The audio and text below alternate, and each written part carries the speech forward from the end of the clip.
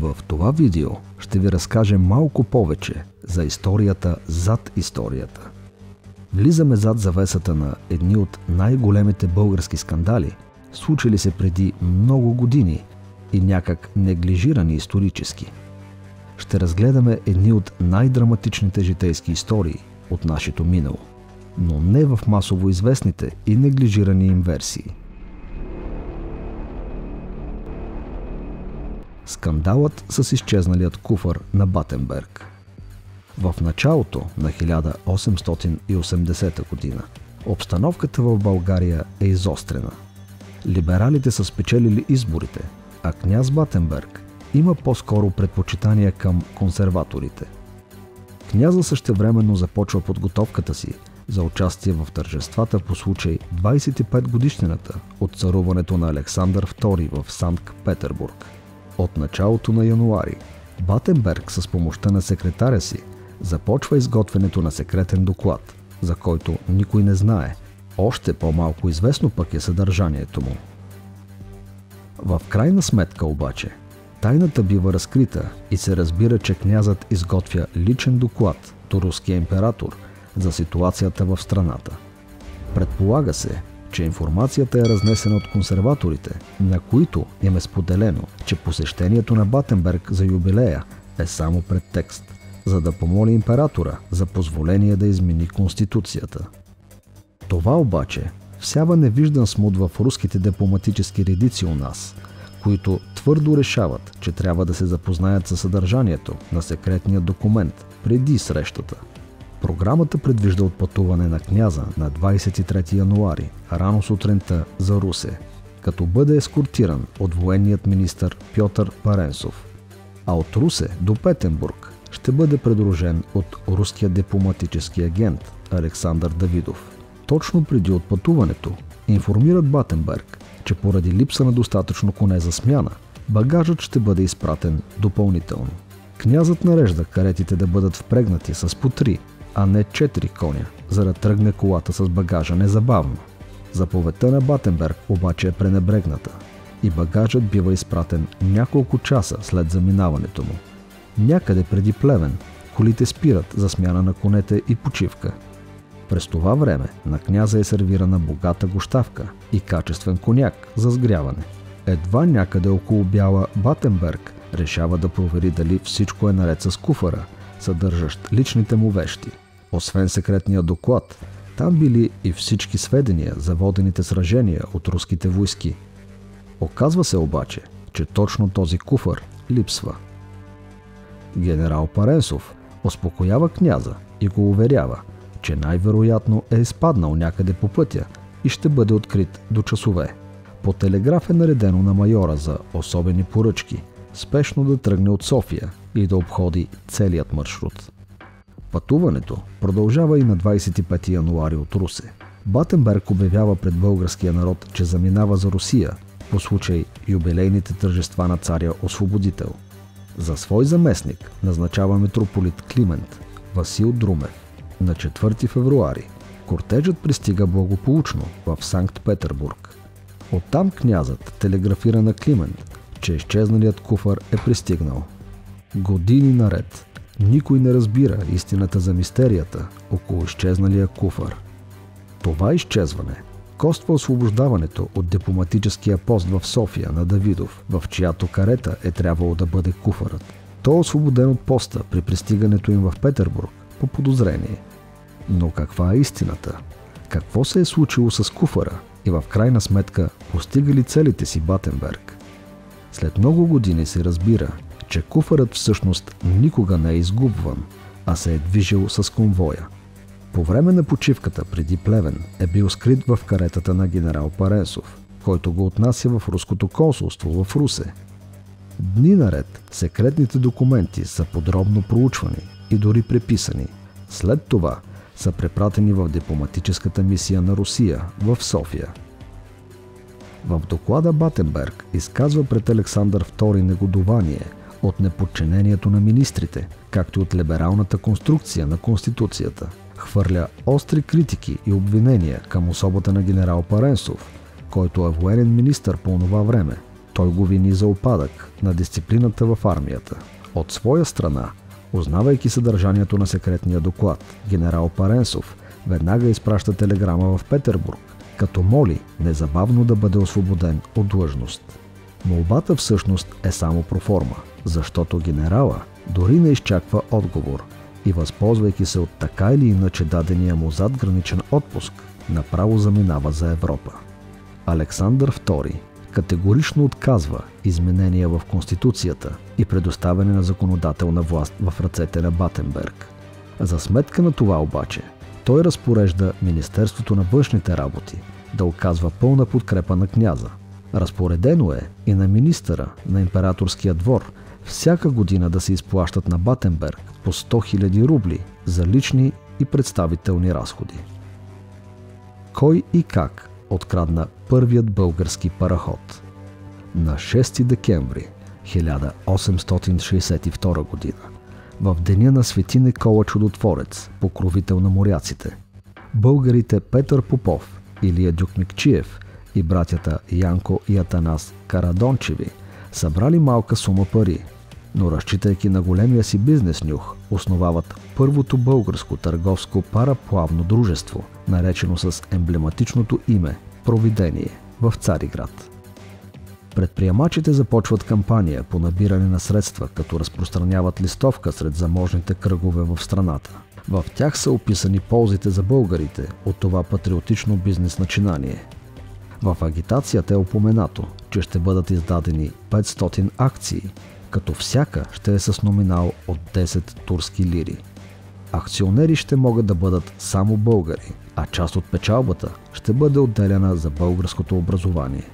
За жалост, отзвука в българският елит е негативен и те дори започват да разобеждават всеки решил да инвестира в начинанието. Все пак, не липсва ли и находчиви българи, които въпреки всичко решават да рискуват – така към май 1863 г. почти всички акции са разпродадени. В началото хората дори не са получавали реални акции, а само разписка, която удостоверявала, че акционера е внесъл половината сума за един дял, а след закупуването на парахода ще внесе останалото и ще получи реалните ценни книжа. След изпродаването на акциите, акционерите взимат решение за пускане на още акции за продан. Банкерът и търговец Христо Арнаудов е определен за касиер и при него по-късно са внесени събраните пари. Сега пред дружеството предстои най-важната стъпка – закупуването на параход. Още от тук започват неволите. По подмолен начин, избраният за заминаване за Лондон, Петър Попов, е изместен от Илия Дюкмекчиев. В дневника на Попов има записки по случая, в които споделя – Илия Дюкмикчиев от Шумен е ленив човек, нечестолюбив, низък характер, езуит, крадец, безчестен. Това казвам убедително. Когато Дюкмикчиев пристига в Лондон, от кантората на Лойд го изпращат в корабостроителницата Хенденсън до Глазгоу, Шотландия. Там му представят вече готов кораб, наречен Принцес Дагмар. Дюкмекчиев Купува кораба за 11 000, като първоначално брои само 3000 лири. За останалите се договаря, че ще бъдат погасени на 4 равни вноски през 2 месеца. Точно след това обаче, при подписване на сделката, той допуска една грешка, която по-нататък ще има катастрофални последици. Корабостроителницата иска гаранции, докато корабът бъде изплатен. По негово съгласие, като гарант е определен лондонският търговец с гръцки корени Етиен Пиципио, който ще получи документ, че е временен собственик, а той, от своя страна, ще прехвърли парахода на българското дружество, щом той изплати изцяло плавателният съд. След придобиването, името на кораба е променено на Азис. Той е еднопалубен, товарно-пътнически с дължина от 51 метра и ширина 7 метра и 50 см. Мощността му е 120 конски сили и изгаря по 10 тона въглища за денонощие. Скоростта му е 10 възела. Когато се използва само като пътнически, той събира 23 души в първа класа и 200 в трета. Корабът има екипаж от 17 души, от които само за двама има сигурни сведения, че са българи. Още след подписването на договора, Азис започва да генерира разходи. Така все още не напуснал Глазгол с добавените заплати за екипажа, въглища, мита, провизии, такси и други. Инвестицията достига обща стойност от 15 657 лири. За сметка на това, Дружеството е генерирало едва 747 лири приход през този период и непосилните разходи започват да го разклащат. Капитан Едвард Уилям Скот и Азис потеглят на 6 декември от Глазгол по пътя си към Цариград. Корабът плава под английско знаме и прави първите си търговски курсове до Венеция и Триест. На 8 февруари 1864 година пред насъбралите се развълнувани няколко хиляди българи. Първият български параход гордо акустира в Цариград. Богоров и Славейков пишат в българските вестници нечувани хвалебства по адрес на, цитирам, предприемчивите водачи на дружеството, което направи от българе морски хора. Край на цитата. Азис започва плаване и под турски флаг, като дори изпълнява два рейса, поръчани от турското правителство. Плава редовно до Варна и Бургас, както и до дунавските пристанища Галац и Браила. Но въпреки постоянната работа на парахода, печалбата била нищожна. На българските търговци били предложени по-низки, преференциални цени за превоз на стоките им, но големите такива пренебрегвали предложенията и возили стоките си с чуждестранни кораби. През март в Цариград се събират акционерите на дружеството, като събранието преминава под формата на необосновани спорове и лични нападки към управата. След това събитие, проведение бързо започва да губи доверието на инвеститорите, повечето от които разпродават ефтино книжата си и бележи спад на акциите с 30%. Това води до свикването на комисия, която да даде ясно заключение за бъдещето на дружеството. Юли месец е свикана нова среща. Присъстват едва 17 души, а комисията дори не се явява, за да даде доклад и заключение за съдбата на провидение. Тогава Попов обобщено свежда до знанието на присъстващите, че корабът все още не е собственост на дружеството, поради дължима сума към корабостроителницата от 4601 лири, платими на две вноски. Едната вече е просрочена, а втората трябва да бъде заплатена до дни.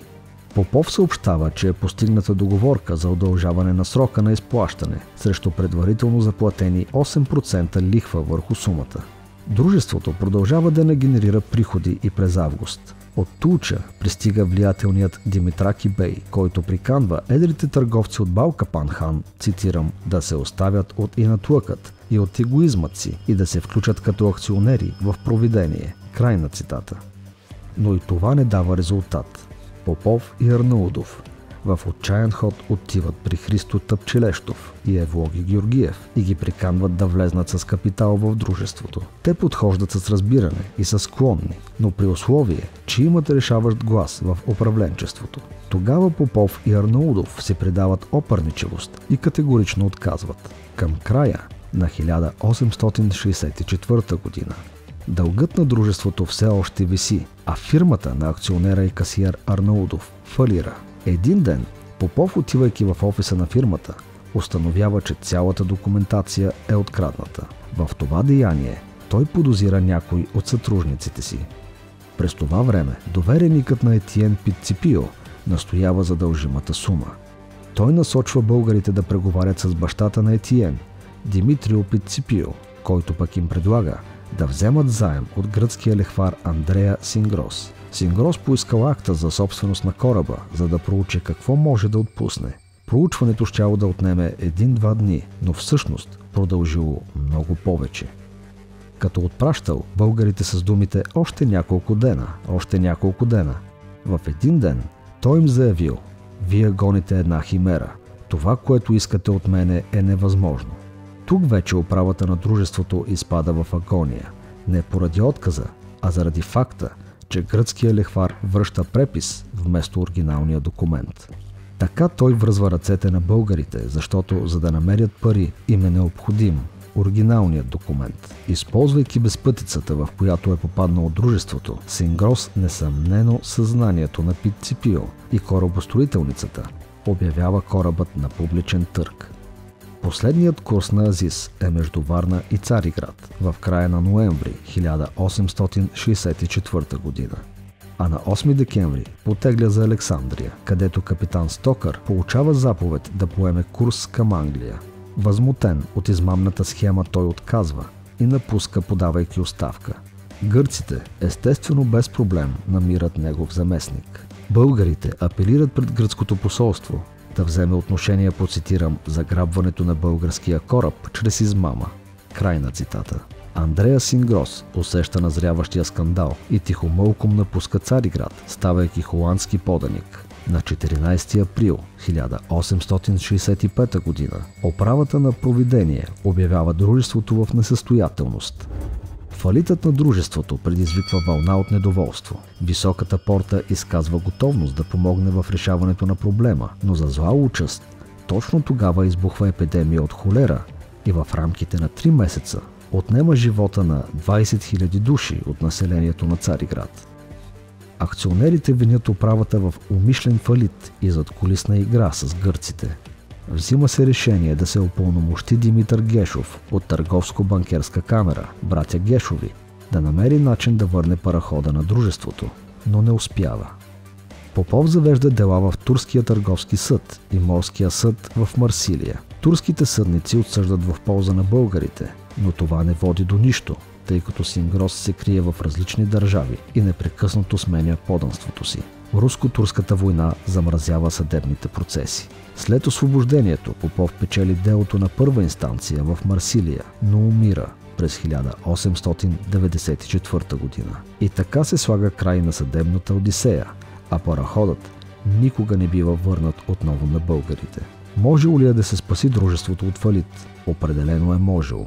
Намираме данни в турския годишник, наречен Салнаме от 1863 година. Според вписаното в него, в Цариград е имало 32 500 българи за наячи. Доктор Селимски и Петко Рачев Славейков сочат други цифри от 80 000 до 100 000.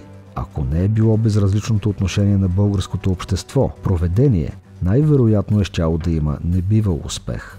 Възмущението си от бездушието на българите от Балкапан, хан Иван Богоров изказва със следните думи. Железни пътища не щете, вапори не желаете да имате, фабрики не ви требуват, а кое ли е вашето желание? Във времето корабът Азис е преименуван няколко пъти и сменя няколко собственика. По време на Първата световна война е мобилизиран като спомагателен съд на Балтийския военен флот. Първият български параход функционира непрестанно 70 години. Това е едно рядко постижение в морската практика. В края на 1931 година е изваден от експлоатация, а през 1933 година бракуван. Може би, като един щастлив край на тази така трагична история, изпълнена с неблагоприятни обрати и измами, е добре да допълним, че това, за което са мечтаяли и са се борили основателите на проведение, в крайна сметка става факт. През 1889 г. Петър Попов и група находчиви варненци образуват Българско търговско параходно дружество. През 1893 г. само година преди кончината на Попов са доставени първите два парахода – Борис и България. Попов сбъдва мечтата си, за която се е борил през последните години на живота си и вижда как български кораби плават и световните морета и океани. Ако това видео ви е харесало, моля споделете го и се абонирайте за канала. Също може да ни подкрепите, като харесате видеото. Според броя харесвания, разбираме от кое съдържание желаете повече.